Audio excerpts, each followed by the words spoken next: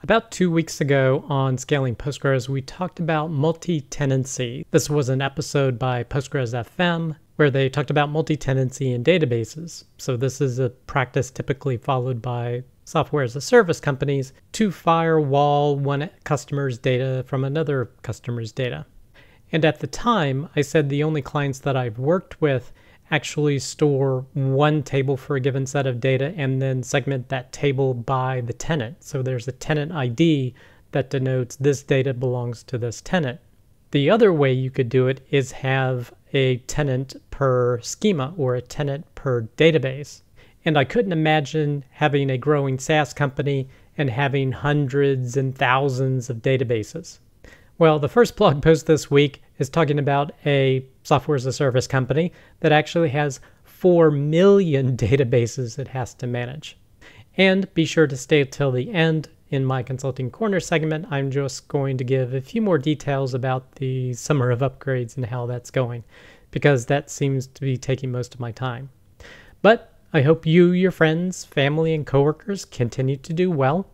Our first piece of content is migrating the Jira database platform to AWS Aurora. This is from Atlassian.com.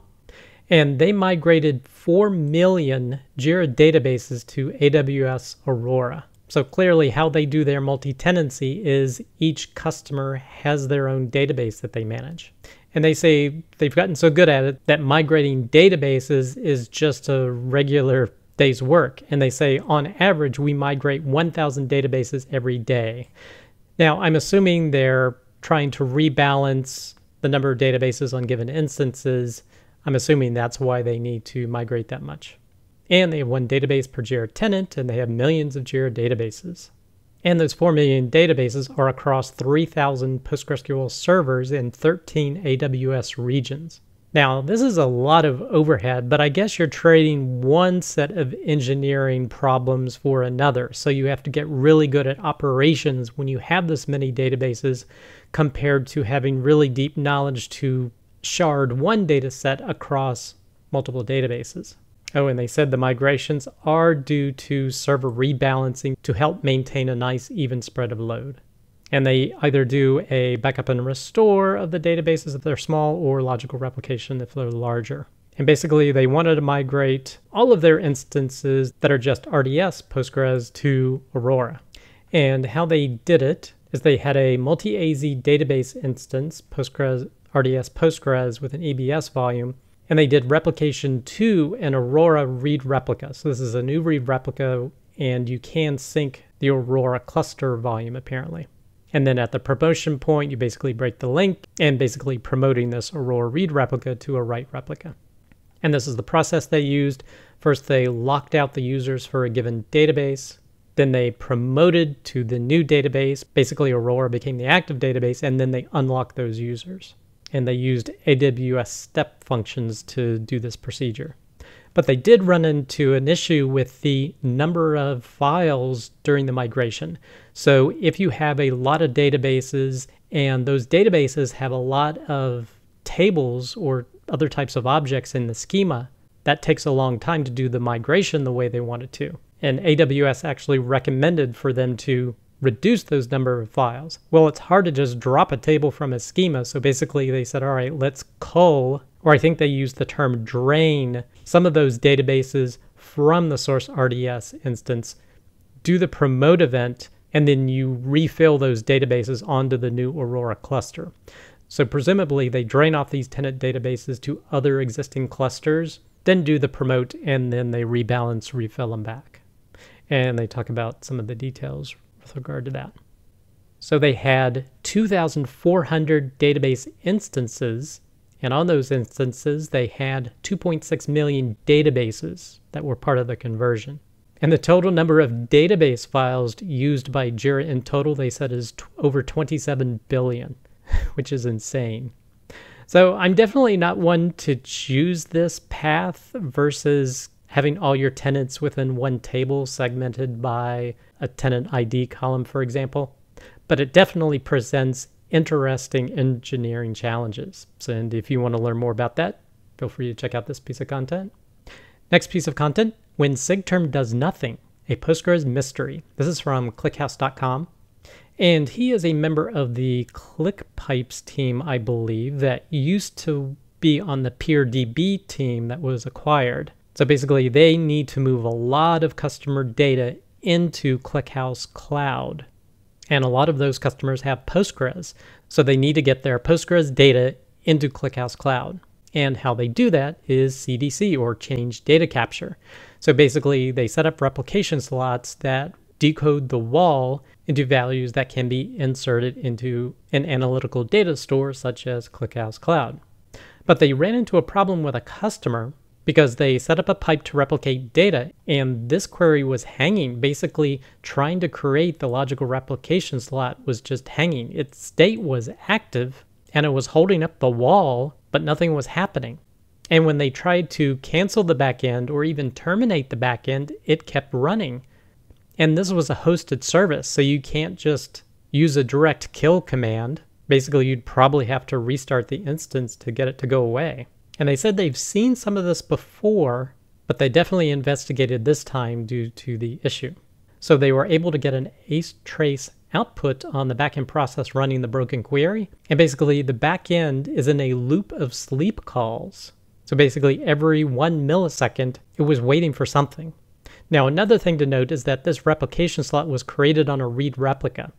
So the problems that they're experiencing here only happen when you try to create a replication slot on a read replica. And that capability is new as of Postgres 16. But apparently in the primary, you won't have this particular issue. And what Postgres does is it's trying to find a consistent start point. And that's relatively easy to do on the primary. So it just has this type loop to try and find that consistent point. But that apparently is much harder to find on replicas because of how they apply the WAL, apparently. And this blog post goes into a lot of detail about how the primary is different from the replica, but the result is with this tight one millisecond loop and trying to find a consistent point, the replicant can be stuck there for hours waiting to find that point because it doesn't have real time lock information. And then why it can't be canceled or killed is because this tight loop doesn't check for interrupts. So he said, all right, first, let's at least be able to cancel this process if the creation of the logical slot becomes hung up.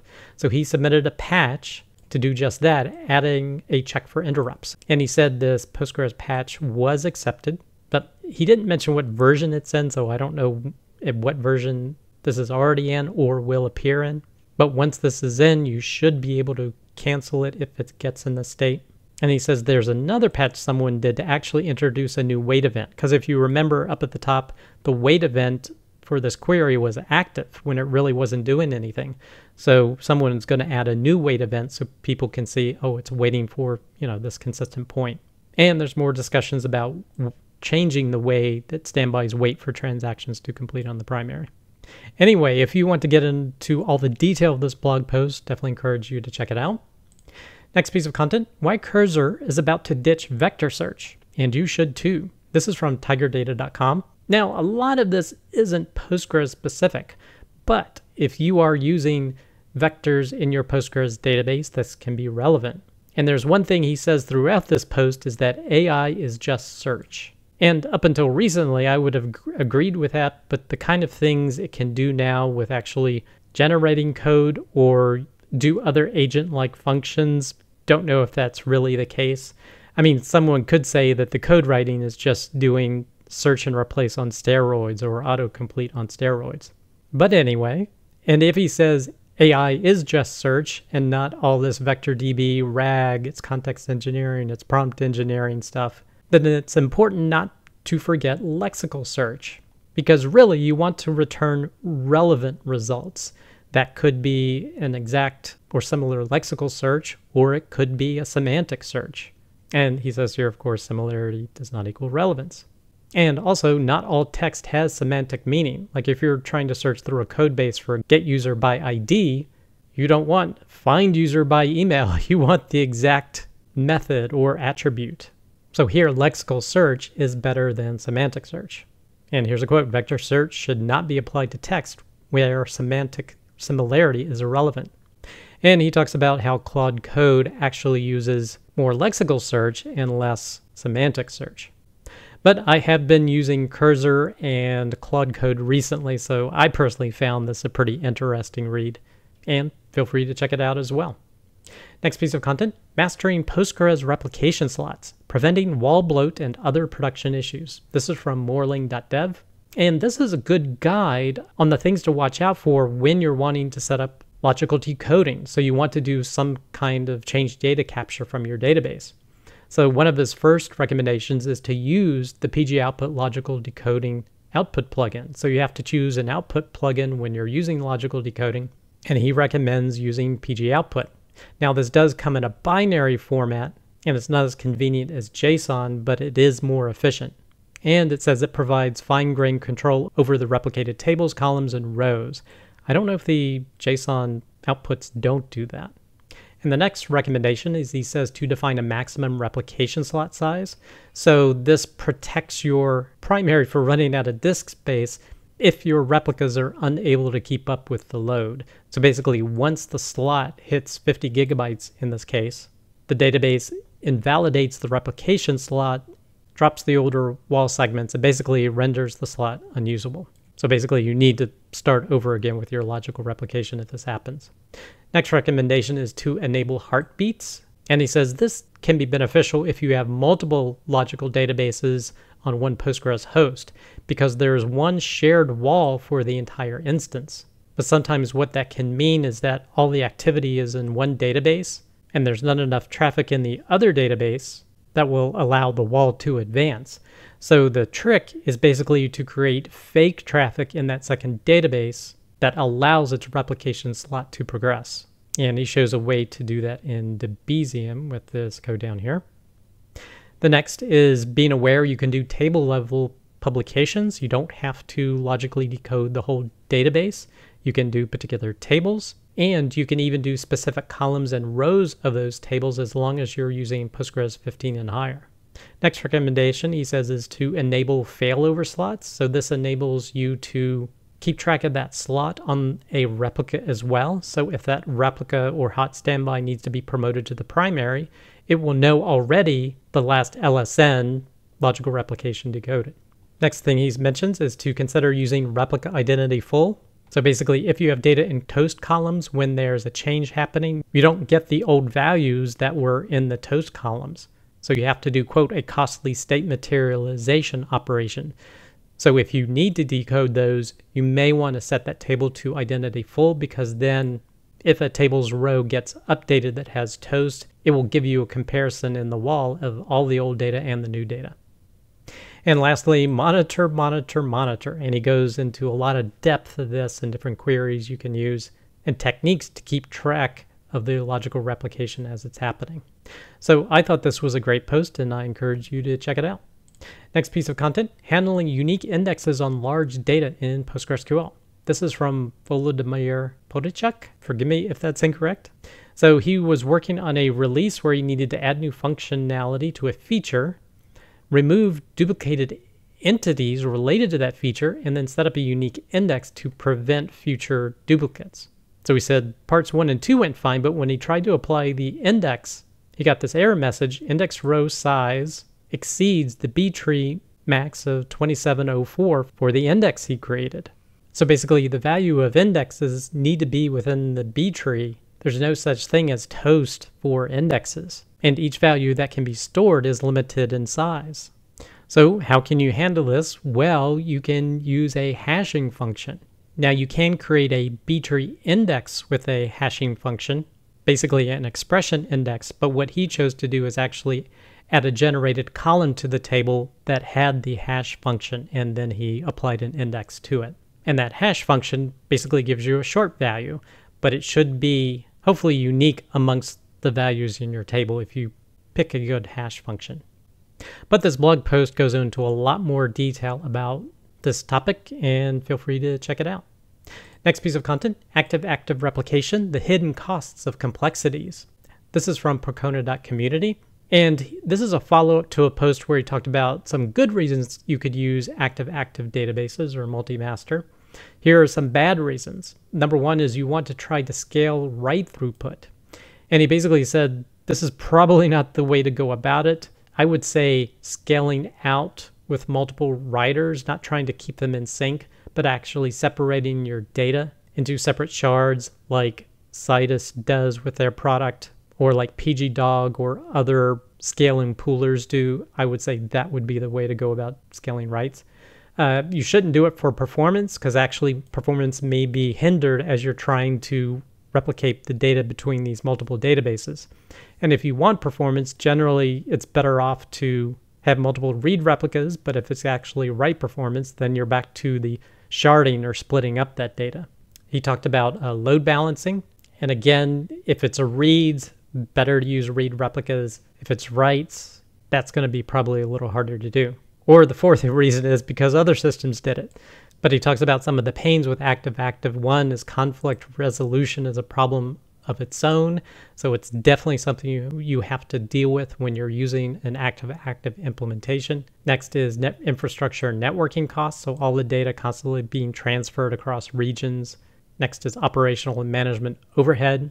So particular changes can break replication or trigger conflicts, and debugging gets really hard. But check out this blog post if you're interested.